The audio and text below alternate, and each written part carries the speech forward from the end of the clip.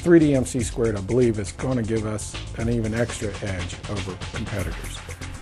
If people are impressed with us now, the use of 3D MC squared is just going to make them even more impressed.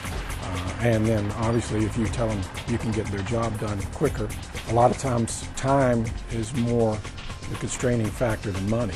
The speed at which the system operates with the 3D MC squared, the operators will be able to grade at whatever speed they want to. If it's high third gear, the system's going to be able to keep up with it. And just observing this week with operators trying to go as fast as they could, I never, I didn't see the system fail.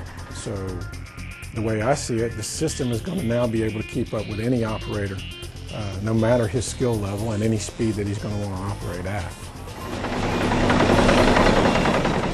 I've had at least 20 calls between today and the last two days on how the system was working by every other dozer operator in this company. Uh, it's every bit of 50% faster than we can run now.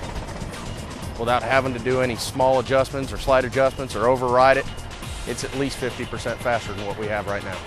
But it's also going to perform a little differently because now you can do things slightly differently than we did before.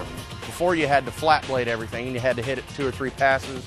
Now you can move your blade around and you can, you know, harness all your material into one spot and you can just keep your passes nice and straight. It is going to make things so much easier when you're doing slopeways and you're doing your DRAs and you're doing your flat bottoms and your roadways. It's, it's going to make a lot of things easier. Finishes is really, really nice, really nice. With the, the system we're using now, uh, if you're not doing constant adjustments to it, you get a lot of wave to it.